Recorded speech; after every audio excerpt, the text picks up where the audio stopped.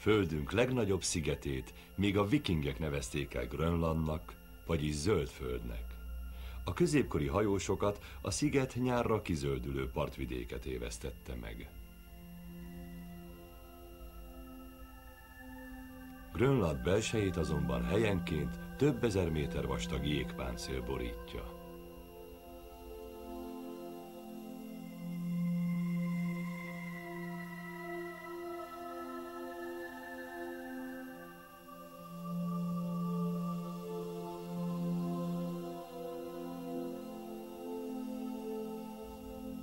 Hófehér jégtömeg könnyedén ellenáll a rövid sarkvidéki nyár melegének. Megolvasztásához a mainál jóval melegebb éghajlatra volna szükség.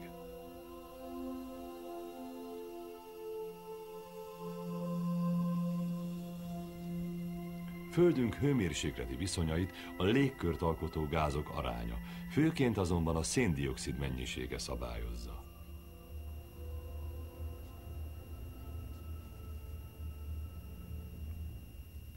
A havai szigeteki Mauna Loa tűzhányó csúcsán rendezték be az amerikai haditengerészet légkörkutató állomását, ahol a lakott területek zavaró fényeitől távol három évtizede vizsgálják Földünk atmoszféráját.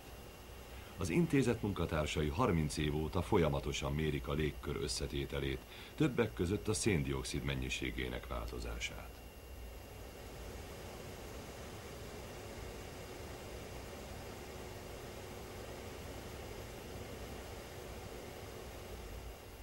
A levegő széndiokszid tartalma elenyészően csekély, átlagosan 0,3 százalék. Viszont épp kis mennyisége miatt már a legkisebb változások is jelentősen módosíthatják a Föld hőmérsékletét. 1958-ban a Mauna Loai mérések kezdetekor a légkör széndiokszid koncentrációja 315 ppm, vagyis 315 milliomodnyi volt napjainkra mennyisége 350 ppm-re növekedett. A 30 éves megfigyelés során évi több mint egy milliómodnyi növekedés mutatható ki. A különbség elenyészőnek tűnik ugyan, ám azt jelenti, hogy a légkör széndiokszid tartalma 30 év alatt 10%-kal növekedett. A növekedés napjainkban is folytatódik. A földi élet alapját jelentő napsugárzás a légkör szűrőjén áthaladva éri el a földfelszínt, ahol elnyelődve hővé alakul át. Éjszakánként a lehűlő földfelszín hőt sugároz ki, amelynek egy része a légkör ablakain keresztül kijut a világűrbe, nagyobbik részét azonban a levegő széndiokszid és vízgőz tartalma újból visszasugározza a földre. Ezt a jelenséget nevezzük üvegházhatásnak. Ha tehát az energiahordozók elégetésével tovább növekszik a széndiokszid mennyisége, akkor fokozódik az üvegházhatás, vagyis emelkedik a Föld ma átlagosan 15 Celsius fokos hőmérséklete. Amennyiben a légkör széndiokszid tartalma a maihoz hasonló mértékben növekszik tovább, a Föld átlag hőmérséklete a 21. század közepére 2-3 fokot is emelkedhet. A széndiokszid mennyiségének csekély változása is környezeti katasztrófát okozhat. Az erősödő üvegházhatás, a növekvő hőmérséklet hatására gyorsabban olvadnának a sarki jégmezők, és a világtenger szintje akár 10 métert is emelkedhetne.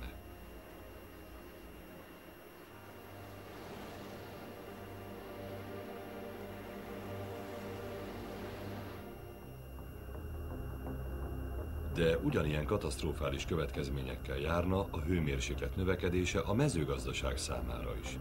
Az erősödő párolgás miatt jelentősen csökkenne ugyanis a talajok nedvesség tartalma.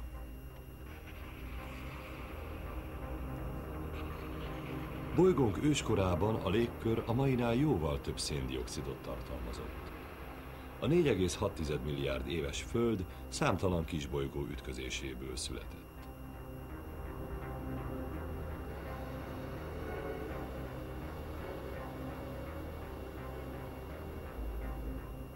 A becsapódások során felszabaduló gázokból sűrűsödött össze a Föld ős légköre, amelyben főként széndiokszid, nitrogén és vízgőz gomolygott. Az első óceánok a lecsapódó vízgőzből keletkeztek.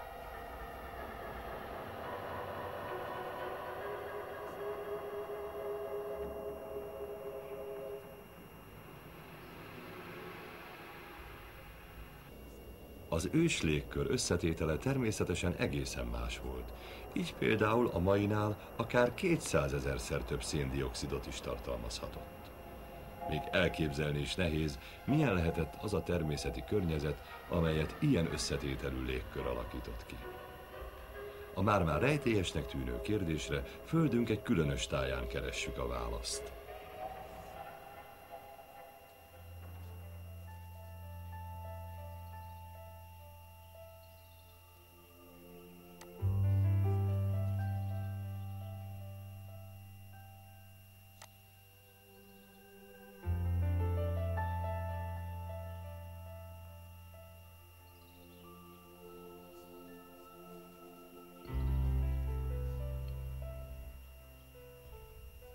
Hajnal a dél-kínai Gvilin város környékén.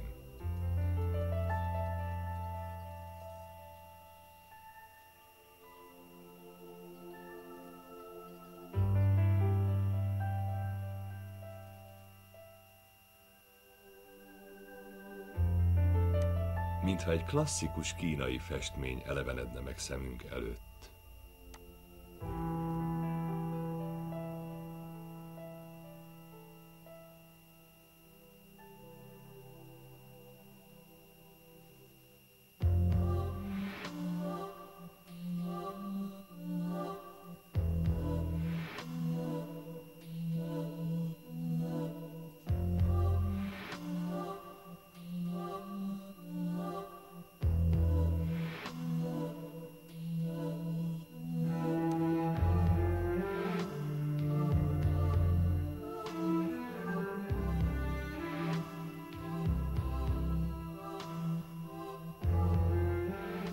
Néhol pagodák torony sisakjára, máshol pedig hatalmas sárkányfogakra emlékeztető függőleges falu hegyek a Lifolyó vizében kettőződnek meg.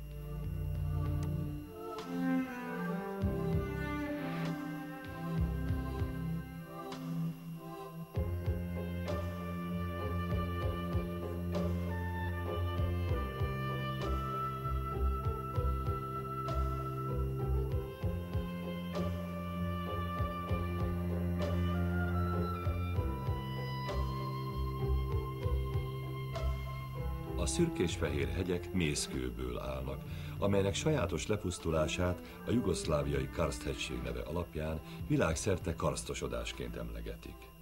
A kínaiak az esővíz juggatta mészkövet Janrongnak, vagyis olvadókőnek nevezik.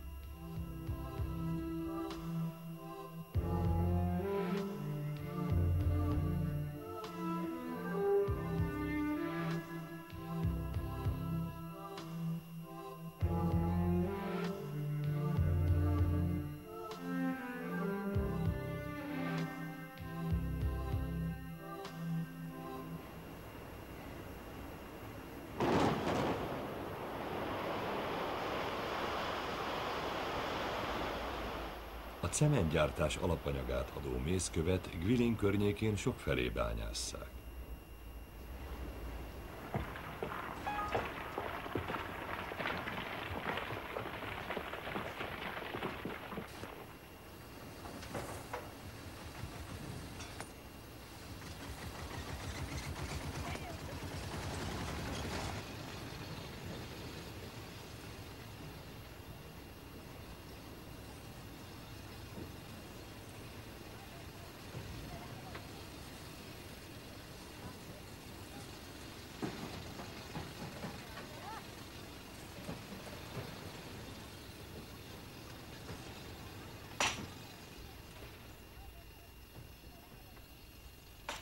A Gwilini mészkő a föld ősi légkörének gázait rejti belsejében.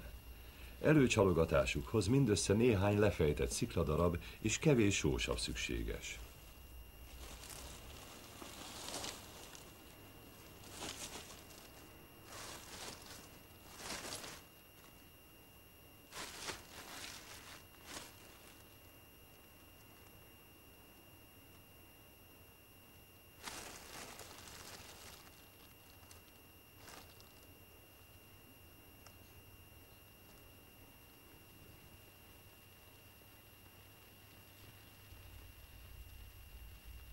Mészkő főként kalciumkarbonátból áll, amelyből sav hatására széndiokszid szabadul fel. Hamarosan heves pesgés jelzi, hogy megindult a reakció. A képződő gáz pár perc alatt kitölti és felpuffasztja a nejlonzsákot. Ha gyertya közelében nyitjuk ki a gázzal teli zsákot, a kiömlő széndiokszid azonnal eloltja a gyertya lángját.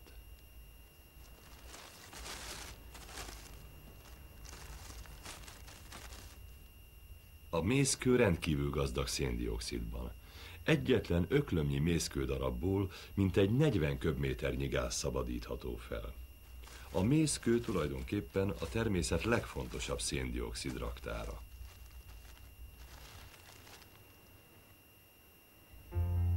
A Lee folyót több száz kilométer hosszan kísérő mészkőhegyek sok köbkilométernyi széndiokszidot rejtenek magukban.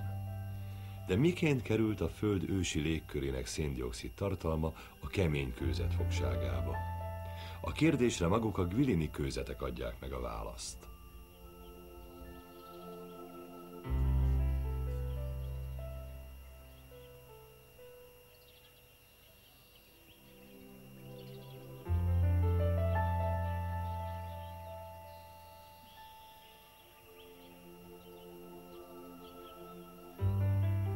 Mészkő felszínét fehéres színű, krizantémre emlékeztető kövületek borítják.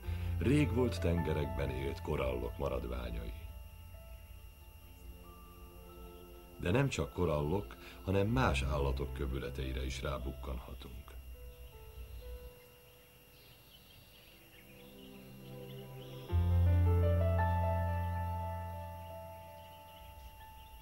Ez a koralszerű lény az űrbelűekhez tartozó, mára már kihalt stromatopoloida. A korallok és a stromatopoloidák egyaránt kemény mészvázat alkotó tengeri állatok voltak. Kövületeik azt bizonyítják, hogy a Gwilini karstvidék területén egykor tenger hullámzott. A terület földtörténeti múltját a Gwilini Karstföldtani Intézet igazgatója Yuan Tao Xian professzor ismerteti. Ahol most állunk, valaha egy koralgát legmagasabb pontja volt. A környező sziklák sokféle tengeri ősmaradványt rejtenek. A legtöbb kövület mészvázas élőlények, korallok, stromatopoloidák és brachiopodák maradványa. A Gwilini mészköveket ezek a tengerlakó állatok alakították ki.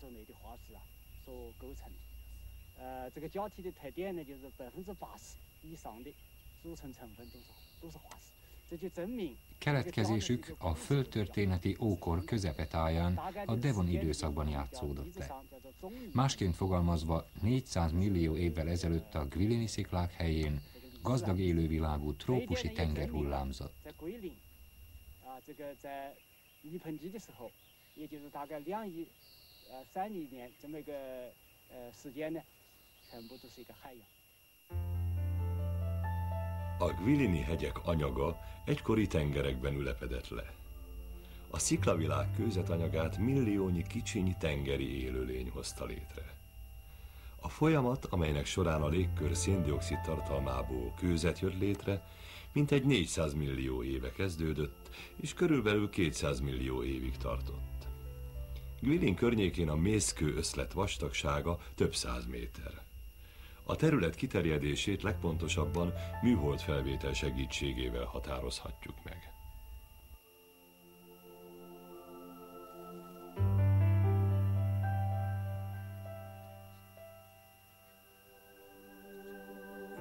Nagyítsuk ki az amerikai Lancet műhold Dél-Kínát ábrázoló egyik felvételét.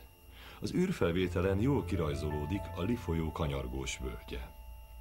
A folyót övező mészkőtornyok kicsiny pontoknak látszanak. A kép jobb felső sarkát, mivel onnan hiányoznak a jellegzetes kis pontok, már valószínűleg másfajta kőzet építi fel. A különleges formájú mészkősziklákkal fedett vidék észak-déli kiterjedése mintegy 100 kilométer, szélessége pedig 2 és 30 kilométer között váltakozik.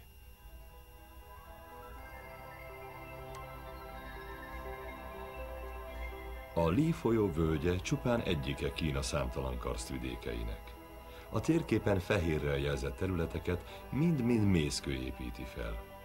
Kína területének mintegy negyedét, európai hasonlattal élve több mint három franciaországi területet fed karsztosodó kőzet. Kína délnyugati részén a Guilini táj szépségével vetélkedő mészkővidék terül el.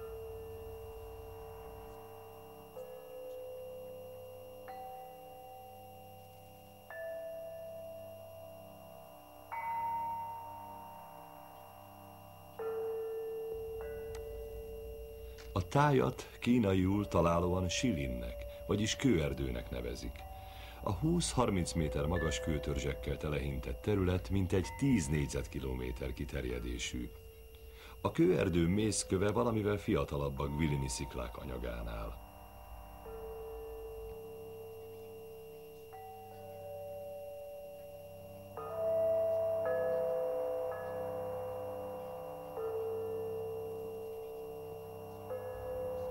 Kína valamennyi mészkővidékének összvastagsága a tízezer métert is eléri. Ha a Földön található összes mészkövet visszaalakítanánk széndiokszid gázzá, a légkör széndiokszid tartalma a mai szint 200 ezer szeresére szökne fel, vagyis elérni az ős légkör széndiokszid tartalmának értékét. Más szóval, a Föld karsztvidékeire ellátogató turisták és hegymászók tulajdonképpen bolygónk őskorának széndiokszid tartalmát tekintik meg. A kőerdő és a Gvilin környéki mészkővidék egyaránt földünk legcsodálatosabb tájai közé tartozik.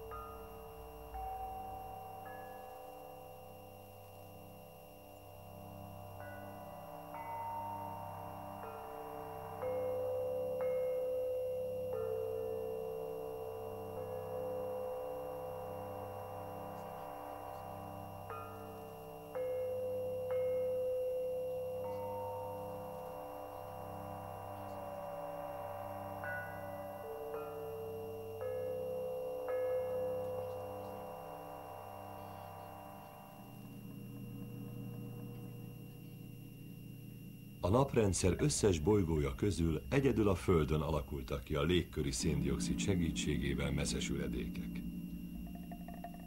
Nem játszódott le ez a folyamat a Föld bolygó szomszédján, a Vénuszon sem.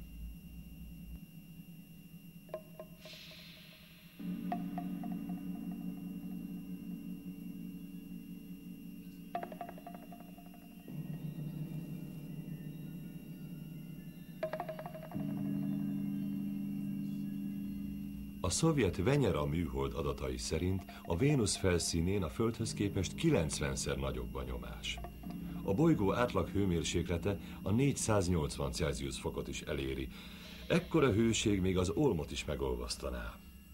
Mivel magyarázhatjuk a Vénusz és a Föld közötti rendkívüli különbségeket?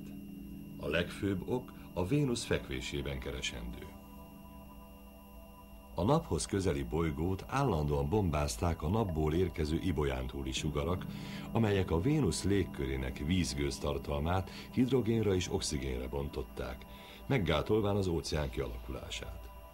Óceán hiány nem alakulhattak ki azok a tengeri állatok sem, amelyek a széndiokszid kiválasztásával elindították a mészkőképződés folyamatát. Így aztán a forró és barátságtalan felszínű Vénusz ma is élettelen bolygóként kering a nap körül. A vöröslő, élettelen Vénuszhoz képest a háromnegyed rész tengerekkel borított föld valóságos oázisnak tűnik. E tengerekben zajlott és zajlik a széndiokszid segítségével a mészkő képződése. Nézzük meg, hol és miként.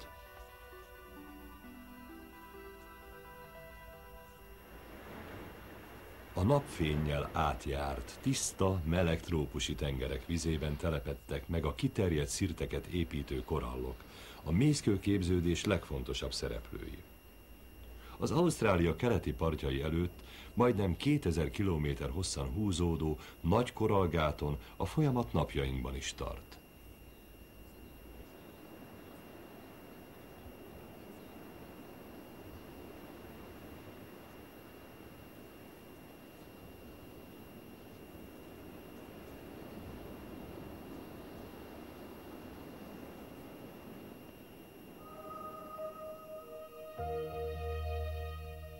A nagy koralgát villódzó fényeivel, színes halaival a trópusi tengerek varázslatos világát tárja elénk. A korall szirteket gyakran a tengerek dzsungeljeinek nevezik. A trópusi esőerdőköz hasonlóan itt is számtalan faj él együtt kölcsönös egymásra utaltságban.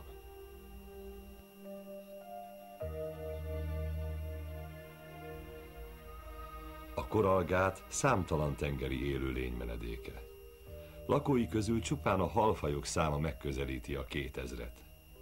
A gerinctelen fajokat még osztályozni sem sikerült eddig.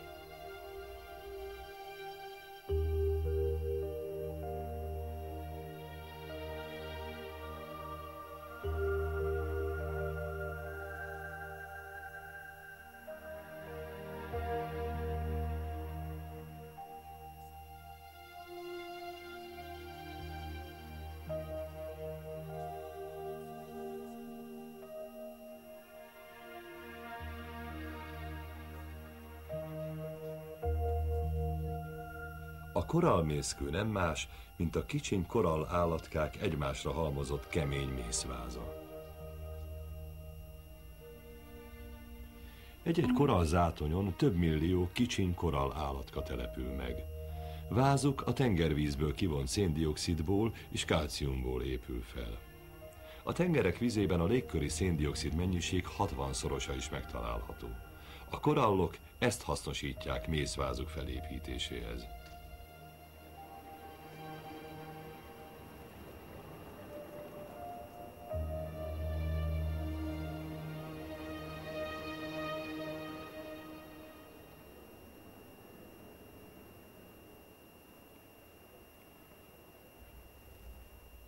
Koralgát fölött leszállt az est. A napközben holdkőzetnek tűnő koralzátony éjjel megelevenedik.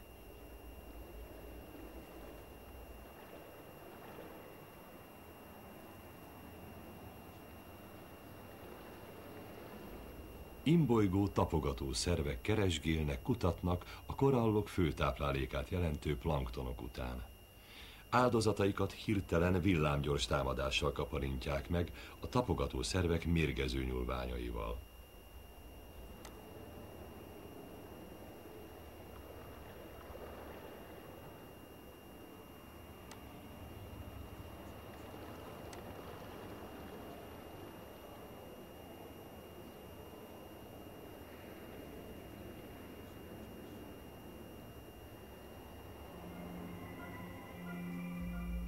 Éjszaka van akkor is, amikor a déli félteke tavaszán, október és november táján a nagy korallgáton megkezdődik a peték lerakása.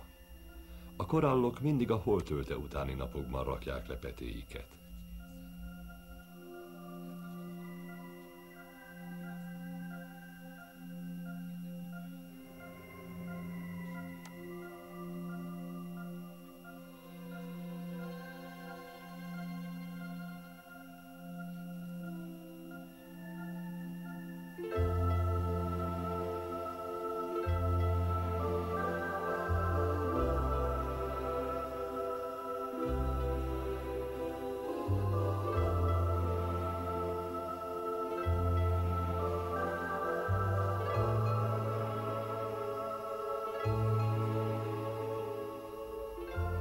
Peterakás tulajdonképpen a mészkőképződés kezdete is egyben.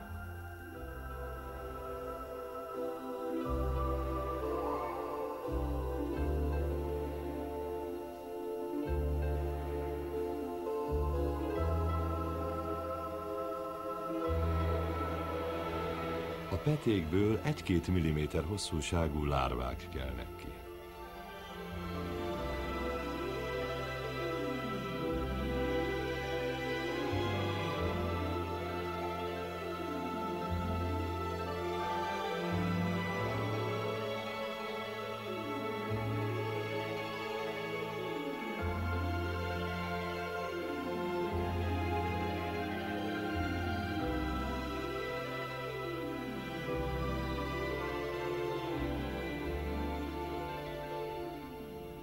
Korallok mészváza csak jóval később fejlődik ki. A lárvákat bőrszerű burok veszi körül, ami lehetővé teszi hullámszerű mozgásukat.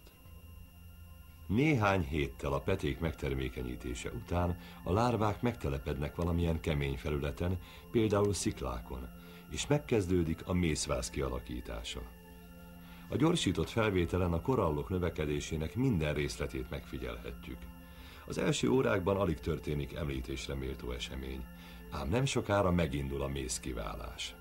A fehérlő anyagból hamarosan nyalábkötegek ágaznak szerteszét. A nyalábok a mészkő legfontosabb alkotó részét jelentő kalciumkarbonátból állnak.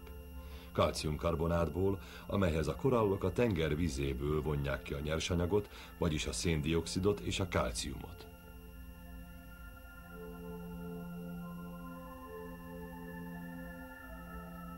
Az első mészváz felépítéséhez mindössze 48 órára volt szükség.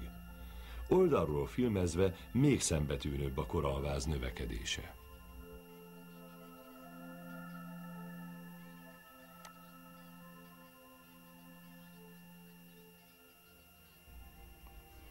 A korallok az első mészváz felépítése után sem szüntetik be a mészkiválasztást. Egyedeik újabb és újabb kamarákat hoznak létre, amelyeket további szálak kötnek össze szomszédaikkal. A mészváz így felfelé és oldalirányban is fokozatosan növekszik, miközben az új egyedek egyre jobban betemetik elődjeik telepeit. A jelentős mészfelhalmozás természetesen fokozatosan fölemészti a tengervíz széndiokszid tartalmát. Pótlása a légkörben raktározott széndiokszidból történik. A korallok mészváz építése tehát végeredményben nem más, mint a légköri széndiokszid kőzetté alakítása. A koralltelepek környékén kagylók, csigák és moszatok mészhéjából is képződik mészkő. A kagylók és moszatok maradványai pedig kemény cementként töltik ki a korallépítmények réseit. A korallok rendkívül igényesek, már-már kényesek környezetükkel szemben. Csak olyan tengerekben élnek, amelyek víze sohasem hűl 18 Celsius fok alá, és mivel életük a napfényhez kötődik, legfőjebb 50-60 méteres mélységig tenyésznek.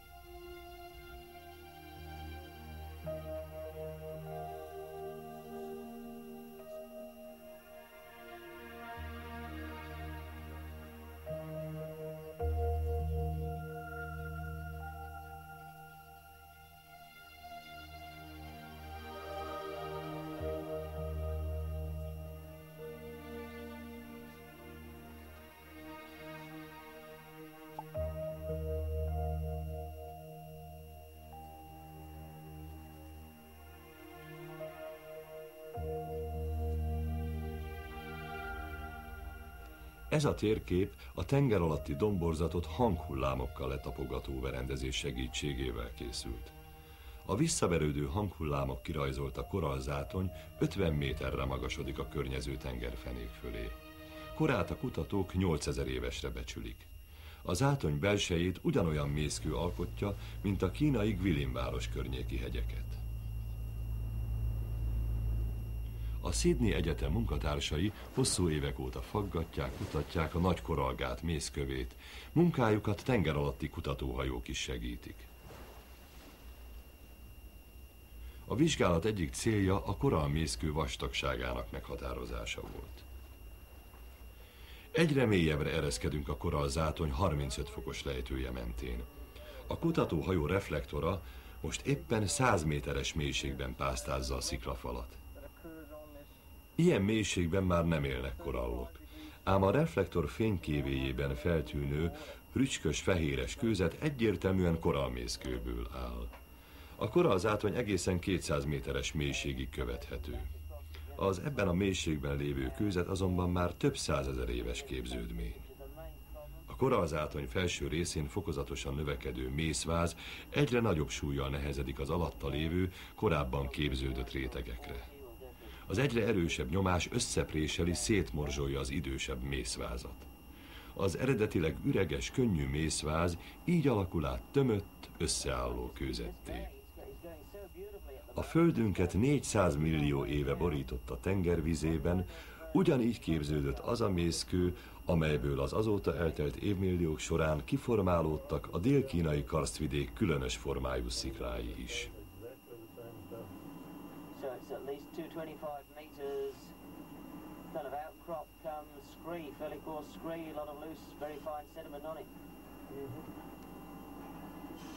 Okay, 1272, 1273. A Sydney Egyetem kutatóinak mélytengeri megfigyelése szerint a nagy koralgát mészkövének teljes vastagsága mintegy 220 méter.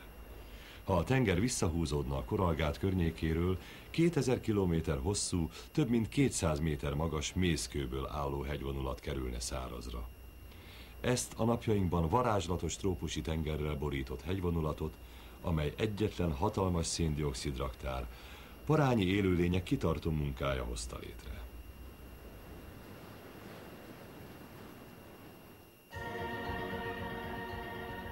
Ausztrália északnyugati részén, Derby városától mintegy 200 kilométerre keletre, azon a száraz lakatlan tájon, amit csak Outback, vagyis eldugott Isten háta mögötti vidéknek neveznek, szintén találunk koralképződményeket.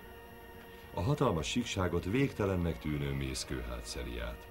A 70-80 méter magas szirtfal ugyanúgy magasodik környezete, mint a nagy koralgát a tengerfenék fölé.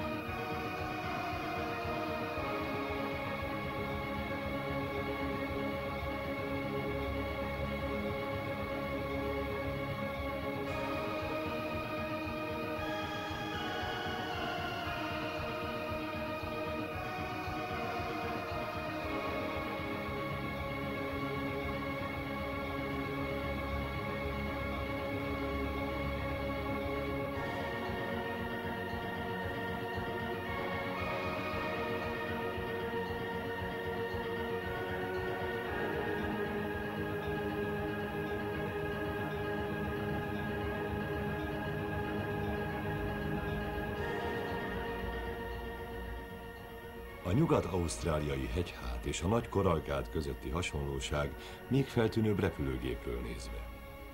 A valamikor szintén tenger alatt képződött mészkőhátat hosszú évmillió geológiai mozgásai emelték mai helyzetébe. A terület tudományos feltárását a Nyugat-Ausztráliai Földtani Intézet vezetőjének, dr. Philip Playfordnak köszönhetjük. Az előttünk magasodó Oscar hegységet a földtörténeti ókorból származó Devon időszaki mészkő építi föl.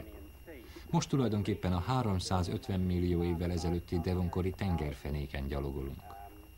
A hegység kőzetanyagát kicsiny mészkiválasztó algák, az úgynevezett Calperius algák hozták létre. Parányi élőlények, amelyek ekkora hegyeket hagytak maguk után. Az akkori tengervíz széndiokszid tartalmának kivonása közben természetesen fontos szerepet játszottak a légkör széndiokszid mennyiségének szabályozásában is. Ezek a sziklafalak a 350 millió évvel ezelőtti légkör anyagát rejtik magukban. A kőzetben található ősmaradványok egyértelműen bizonyítják a mészkő tengeri keletkezését. E fosszíliák azonban egészen mások, mint a koralszirteket napjainkban benépesítő fajok. Ez az első látásra kagylókra emlékeztető ősmaradvány a teknős mészvázban élő pörgekarúak, a brachiopodák egyik képviselője.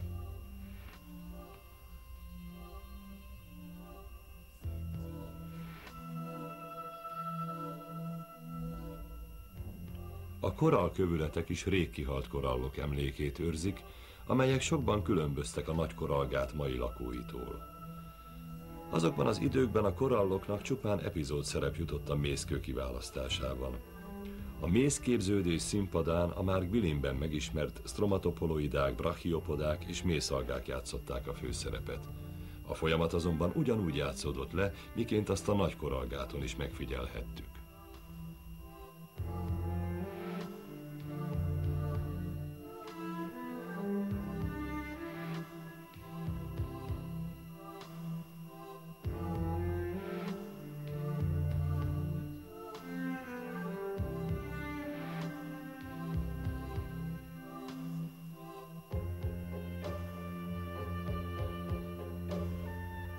Széndiokszid segítségével történő mészkőképződés kezdete a földtörténet korai időszakáig nyúlik vissza. Földünk legidősebb mészköveit 3,1 milliárd éve élt tengeri állatok hozták létre, mindössze másfél milliárd évvel bolygón keletkezése után. A korallok és társaik földünkön több mint 3 milliárd év óta folyamatosan munkálkodnak. E kicsiny élőlények azóta fejtik ki a földi élet számára oly fontos tevékenységüket. Napjainkban a Föld légköre csupán 0,3 százaléknyi széndiokszidot tartalmaz. Az alacsony széndiokszid szint kialakításában, ami a Föld lakhatóvá válásának egyik alapja, fontos szerep jutott a tengerek mélyén élő, látszólag jelentéktelen mészkiválasztó élőlényeknek.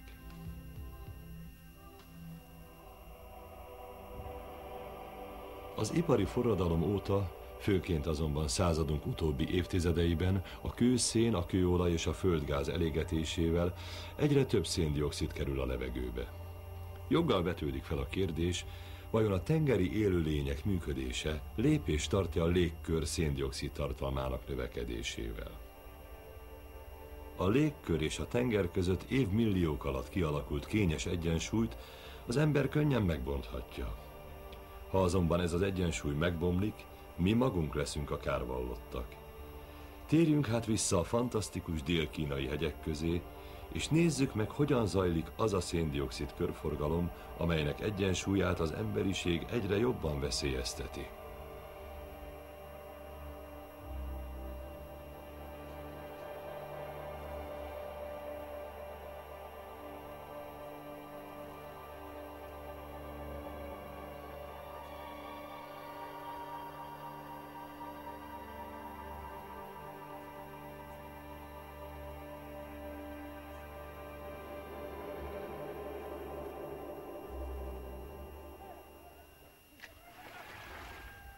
Gvilin környéki karsztvidék lakói évszázadok óta azonos módon öntözik földjeiket a Li folyó vizéből. A területre hulló csapadéknak azonban csak egy része gyűlik össze a Li medrében.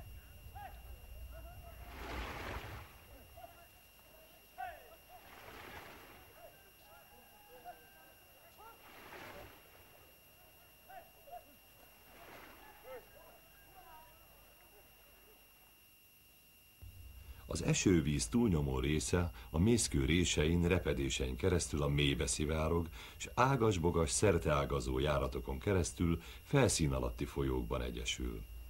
A magával szállított törmelék segítségével a karsztvíz sokfelé hatalmas barlangi üregeket alakított ki. A Gvilini karsztvidék barlangjainak szépsége a külvilág fantasztikus mészkőszikláival is versenyre kell. Néhány barlangi terem magassága a 70 métert is eléri.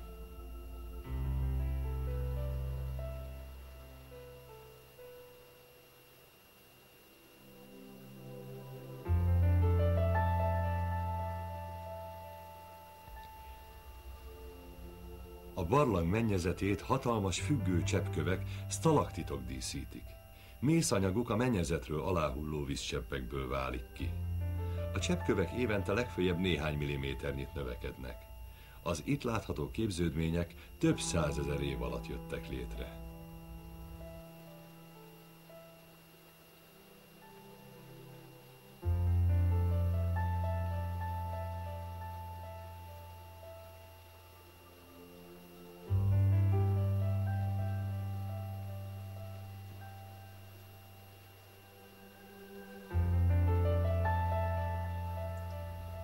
Felszínről beszivárgó és a talajrétegen áthaladó széndiokszidos víz oldja, pusztítja a mészkövet. A barlangi üregekben viszont, ahol széndiokszid tartalma elillan, csodálatos cseppkőformákat épít.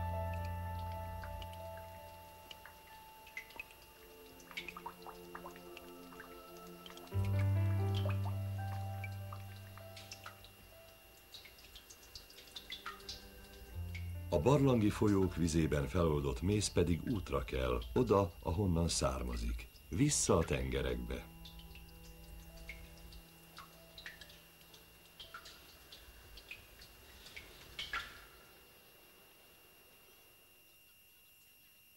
A Gvilin környéki sziklák anyaga 400 millió évvel ezelőtti trópusi tengervizében rakódott le.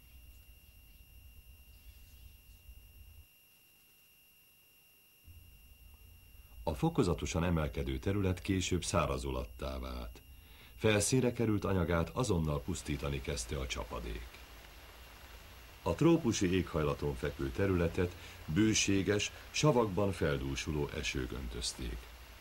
A szénsavban gazdag vizek könnyedén megtámadták a mészkövet, feloldván annak méztartalmát.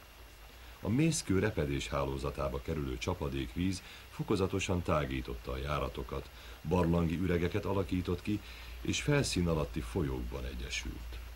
Az egyre mélyebbre jutó karstvíz hosszú évmilliók alatt hozta létre a dél-kínai karstvidék fantasztikus sziklavilágát.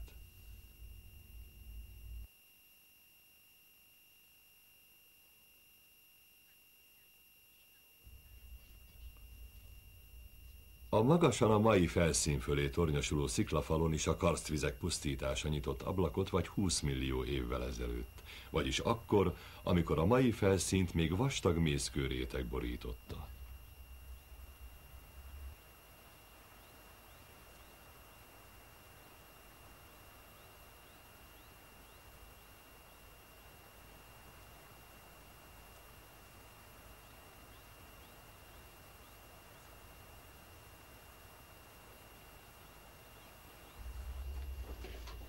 A Gwilini barlangok labirintusába Yuan professzor vezetésével merészkedtünk be. Meg akartuk tudni, milyen kapcsolatban áll egymással a mészkő oldódása és a széndiokszid körforgalma. A felszínről beszivárgó vizek milliárdnyi repedés mentén végzik pusztító, oldó munkájukat.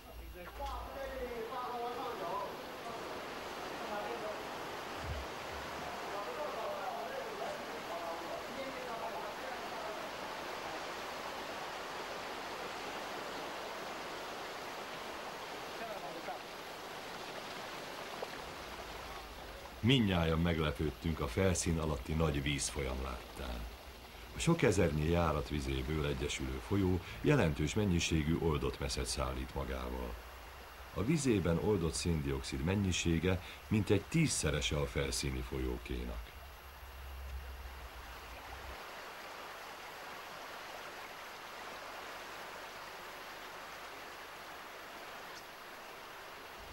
A Mészkőhegység felszín alatti járataiban pontosan az ellenkezője játszódik le annak, amit a koralzátonyokon tapasztalhattunk. A koralgátak élőlényei széndiokszidot alakítanak át mészkővé. Itt, a Gwilini sziklatornyok alatt, a mészkőből viszont épp a széndiokszid válik ki.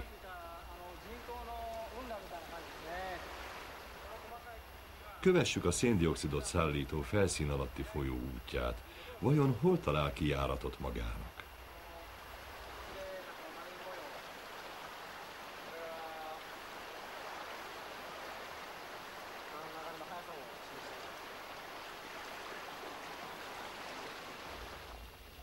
A sziklák mélyén haladó folyónk néhol magavájta két emeletnyi magas termeket szel át, máshol viszont csak a tutajra hasalba férünk át egy-egy sziklafal alatt. Yuan professzor nélkül, aki a barlangi járatok minden részletét ismeri, alig ha keverednénk ki a szerteágazó labirintusból.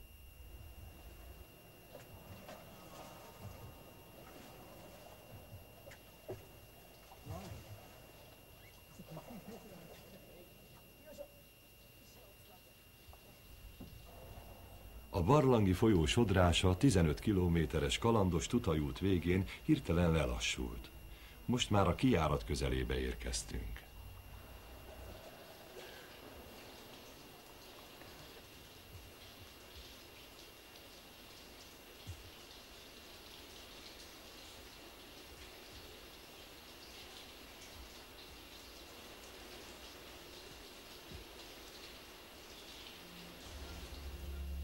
Barlang sötétjéből kibukkanva a Li folyó partján találtuk magunkat. A karszvidék vizeit összegyűjtő Li szállítja a tengerbe a barlangi folyókban érkező oldott mészkövet. A tengerbe, ahol újra kezdődhet a mészkiválasztás folyamata, azaz a körforgás a légkör, a tenger és a kőzetek között.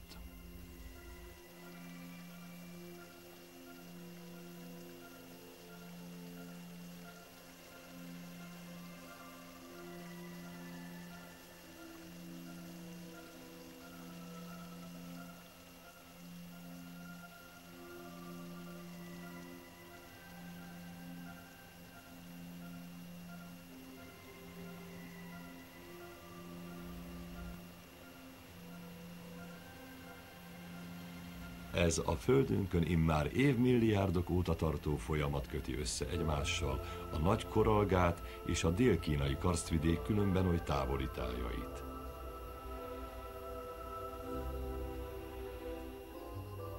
A légkör széndiokszid mennyisége és a levegő hőmérséklete szoros kapcsolatban áll egymással. Törékeny egyensúlyuknak köszönhető az a csodálatos környezet, amelyet otthonunknak hívhatunk.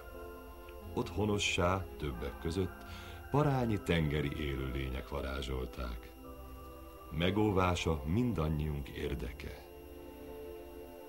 thank you